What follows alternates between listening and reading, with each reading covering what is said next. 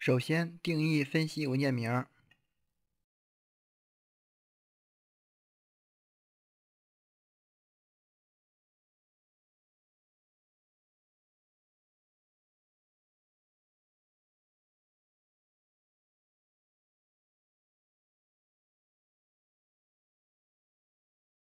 定义一下单元的类型。我们打开单元类型定义对话框，单击 add 来添加。我们这里我们选择四节点二维平面单元。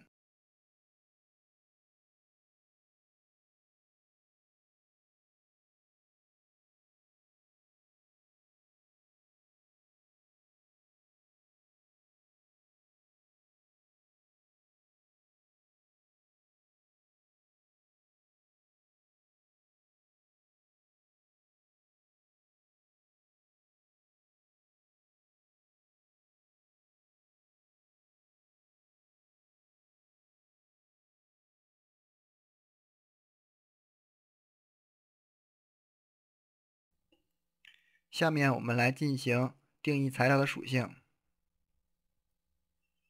首先，我们来定义一下蒸汽管材、蒸汽管道的材料的属性。来输入 LB1，点击 OK。然后我们来定义一下保温层材料的属性。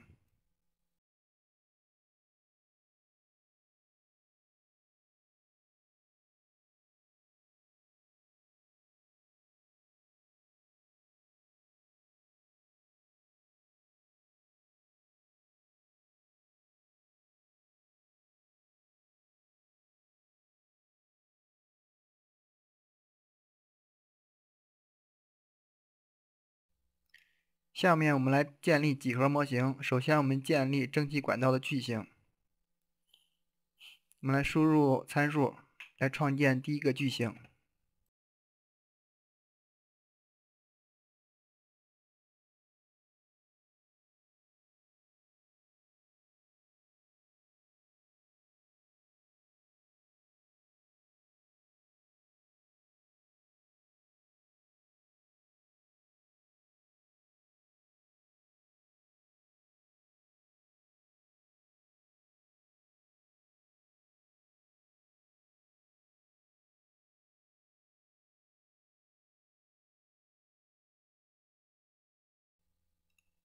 下面我们来把它们进行粘粘合。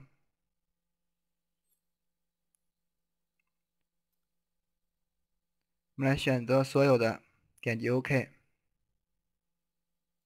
完成之后，我们来进行对材料属性的负责赋予。首先，我们来设置蒸汽管道的属性。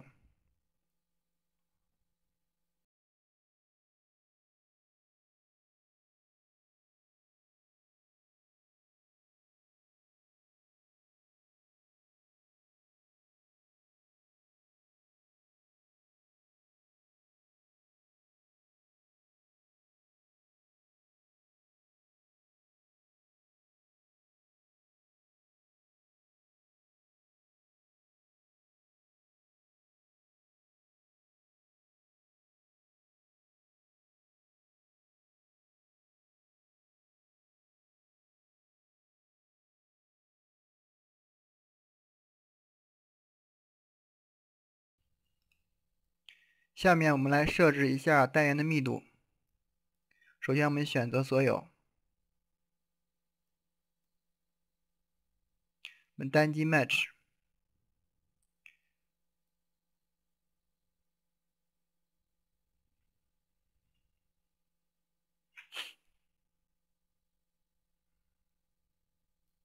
选择 Target Stuff，点点击 Pick All 进行网格划分。划分完成后，我们来进行施加对流的热，对流的换热载荷。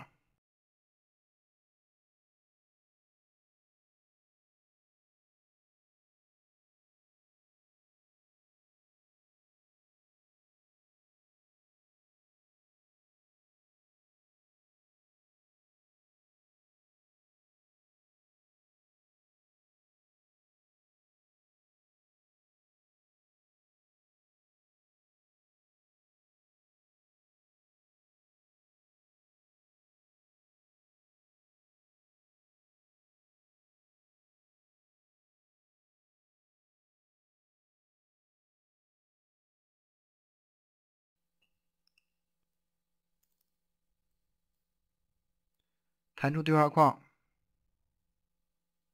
我们来输入值 a p 零和 t 零，a p 一和 t 一，单击 OK。完成之后，我们来施加蒸汽管道内壁对流的热交换载荷。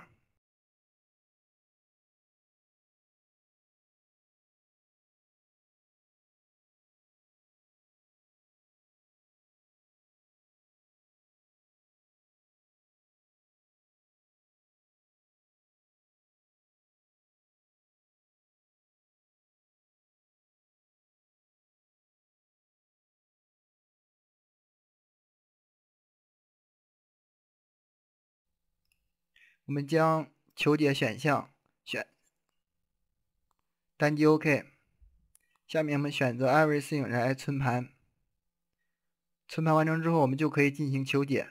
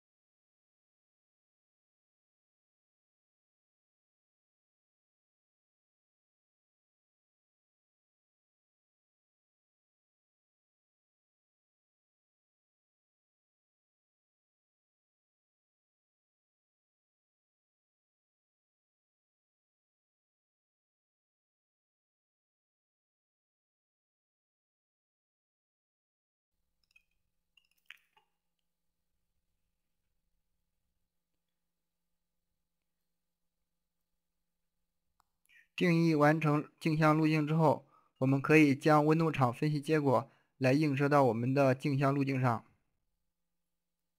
我们输入 TIR，选择温度，单击 OK，来显示一下镜像路径温度的分布的曲线。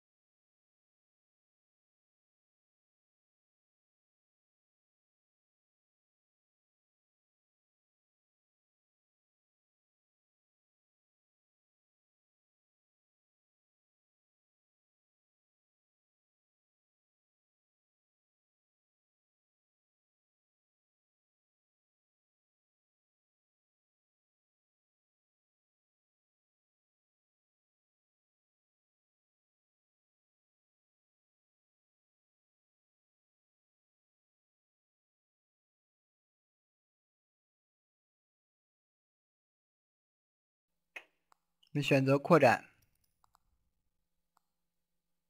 单击 OK。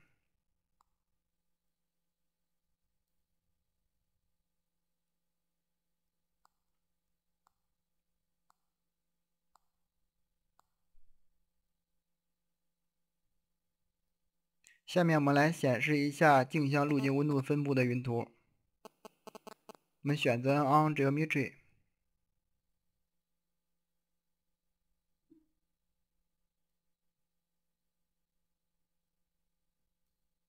选择诺大 Solo，选择温度，这是扩展之后的显示，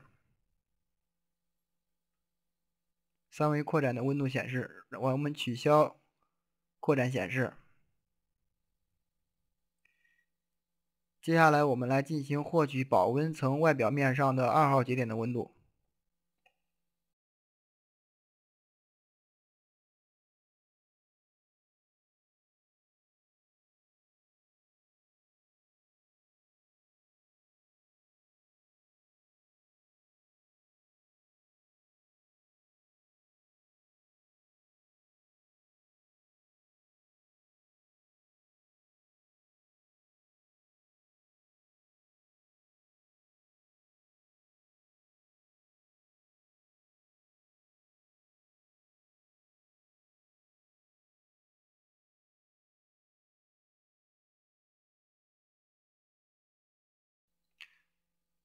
我们选择 by location 单击 X，我们输入 R1，点击 OK。来，我们选择蒸汽管道内壁节点。下面我们选择 Elements，来选择一下蒸汽管道内壁单元。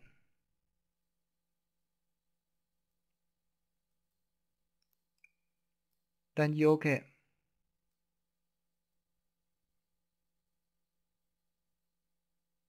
下面我们来定义一下单元结果参数定义对话框。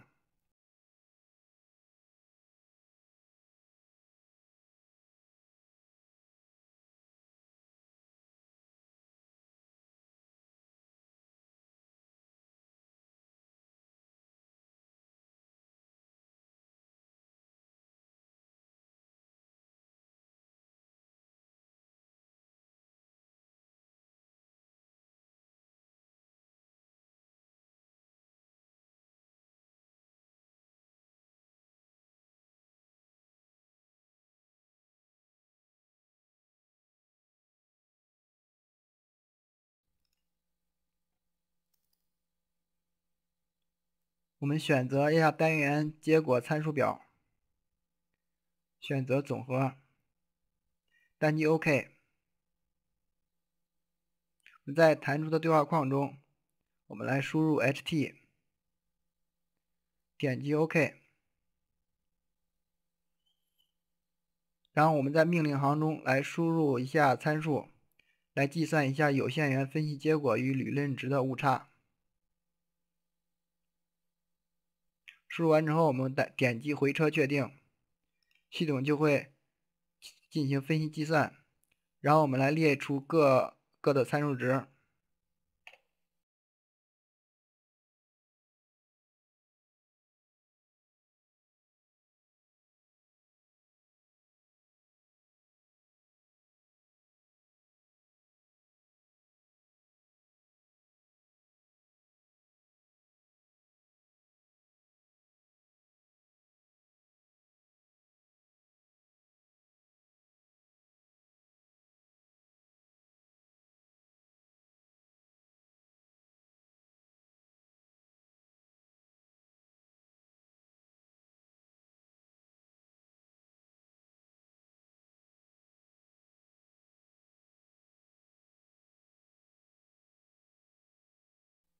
输入新的文件名称，然后我们来定义一下单元的类型。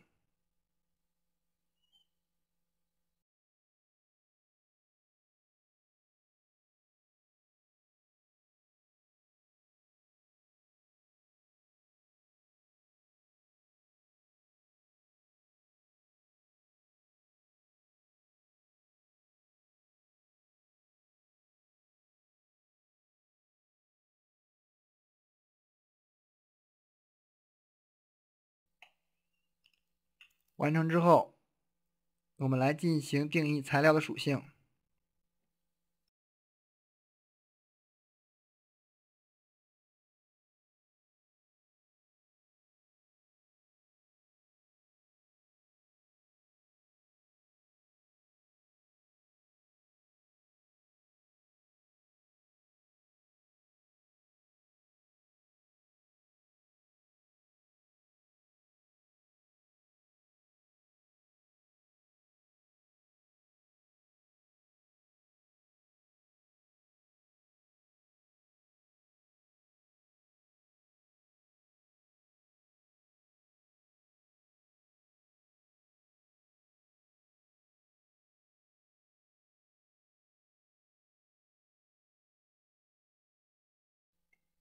我们输入 R 一、R 二、零、L、零和三十。首先建立我们蒸汽管道，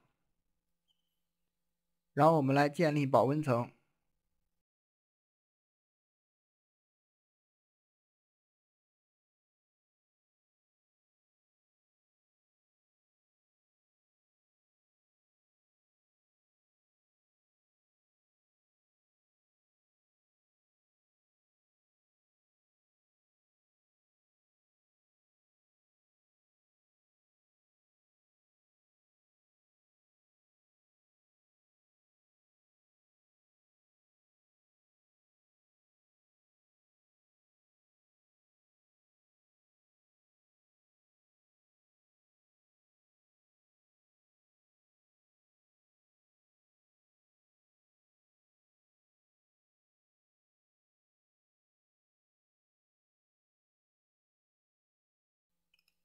我们进行赋予材料的属性，单击 OK。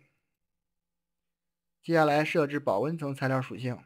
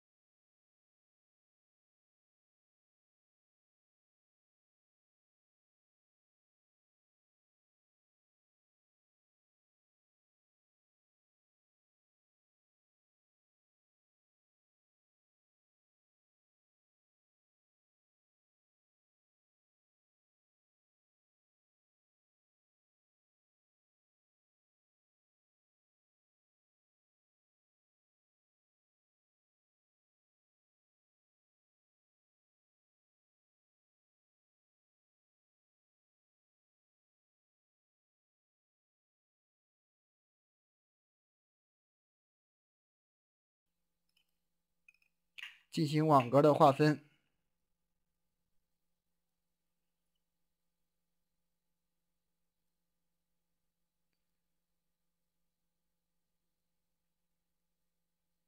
我们选择四号面，来单击 OK，进行施加对流的热对流换热载荷。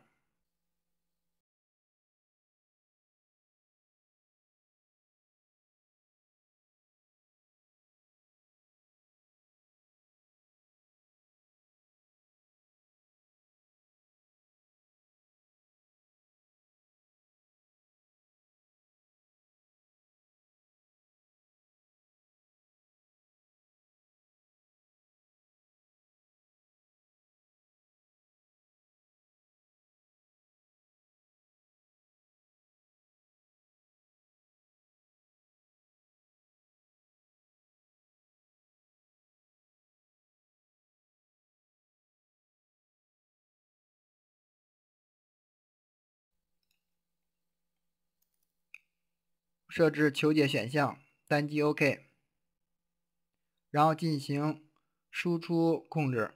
我选择 Everything 存盘。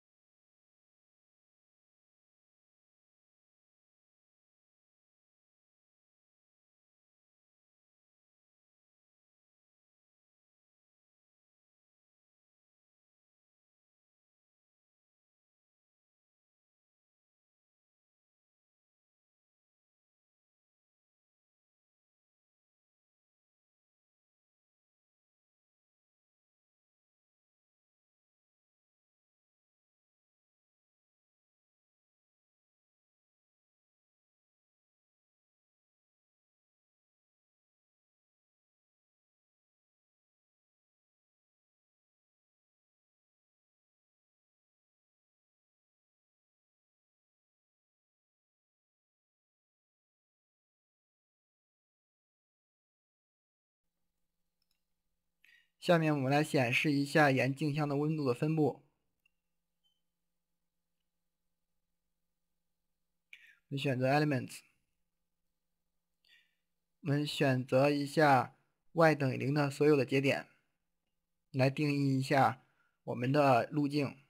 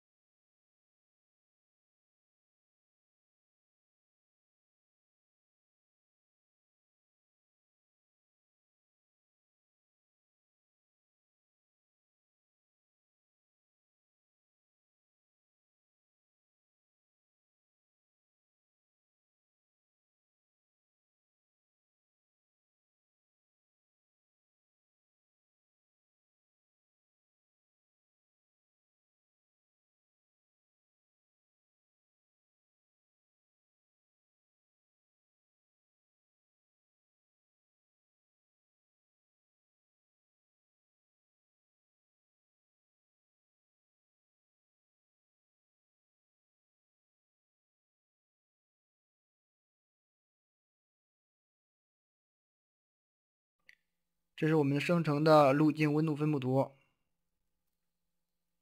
们选择 TTR，沿径向路径的分布云图。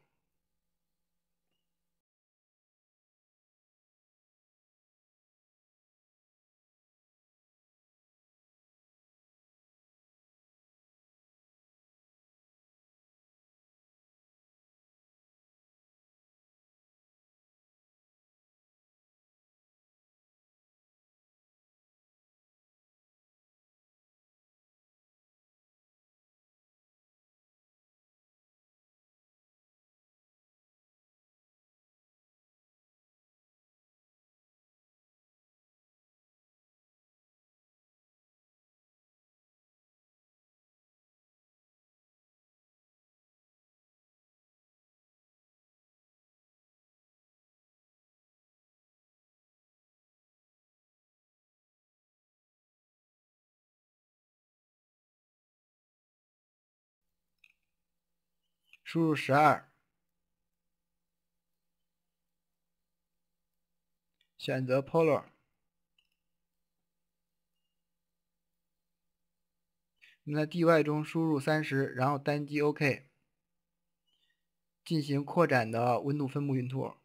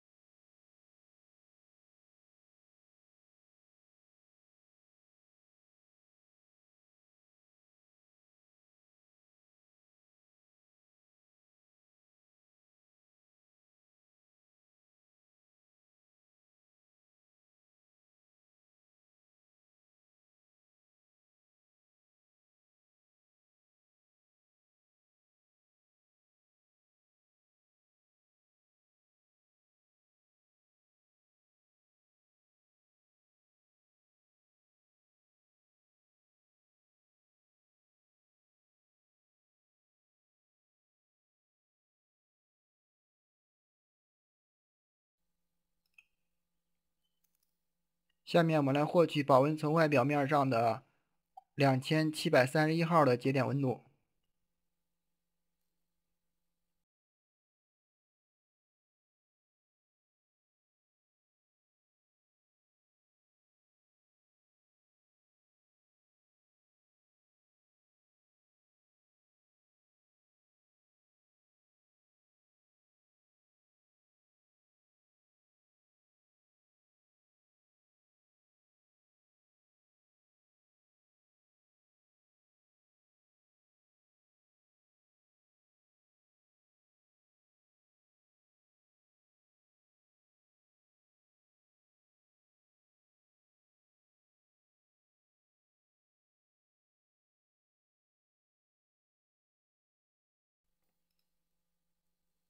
们选择实体，我们选择面积，by number picket，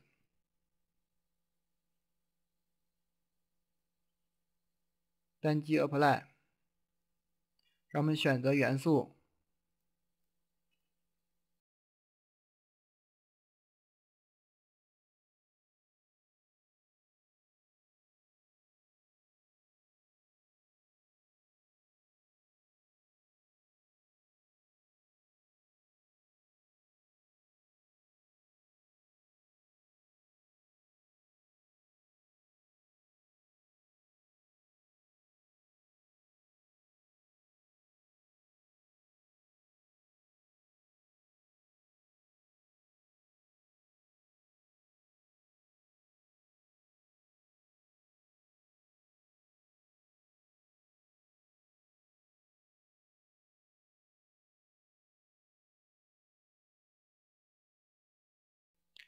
生成，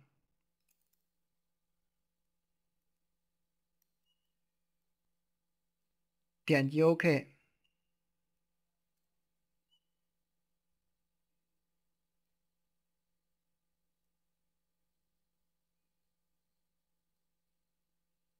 我们来继续。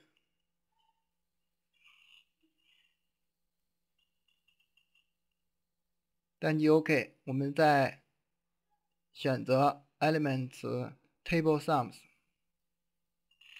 选择求和，单击 OK，随后弹出对话框中，我们来输入 HT，单击 OK。